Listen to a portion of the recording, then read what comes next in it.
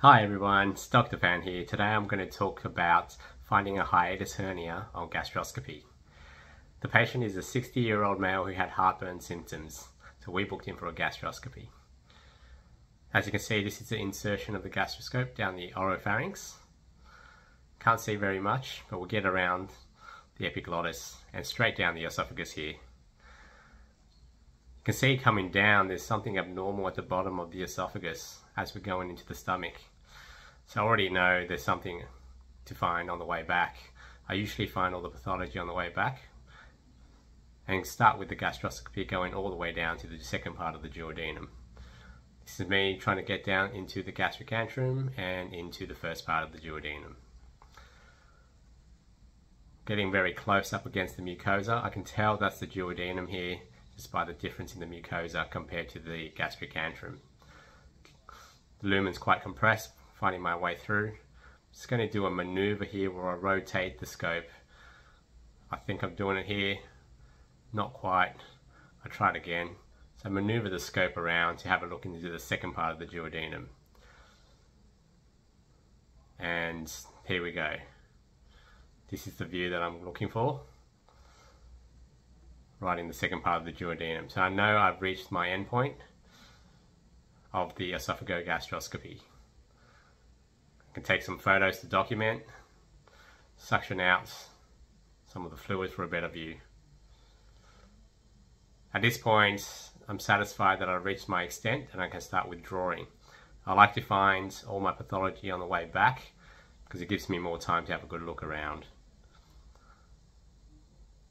So trying to find the ampulla of Vater here and coming back slowly. So I find that the scope often pops around back into the gastric antrum quite quickly from the first part of the duodenum, as demonstrated here. So I often have to go back in and have another look at the first part of the duodenum. There's a little bit of bleeding in the gastric mucosa, but that wasn't there on the way in, so it's likely to be caused by my gastroscope. So we call that scope trauma. There we go. So I've seen the duodenum coming back now. So I want some good views to look at the whole stomach, the greater curve, the lesser curve, as well as doing a retroflexion, which is this maneuver here, looking back onto the scope. You can see the hiatus hernia on this view, which is the gap next to the gastroscope here. So take some photos for the way back. Suction out the saliva, so this reduces the risks of aspiration on completion of the procedure. So here we go again, closer view of that hiatus hernia. So there's one more way that I can look at this hernia, which is on the way back from my withdrawal of the scope, which is what I'm going to do now. So last photo of the stomach coming back, and here we are, looking at the diaphragmatic impression here. And coming back about two centimeters higher up we have the gastroesophageal junction or the Z line. So I know in between that's the hiatus hernia so that's a two centimeter small high sliding hiatus hernia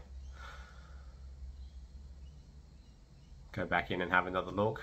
So confirm that hernia bit of food in the esophagus there take some more photos on the way back the patient probably doesn't need an operation to repair that just some proton pump inhibitors for symptoms, epiglottis, and done. Well, thank you for watching. Please like, subscribe, share, and comment for more videos.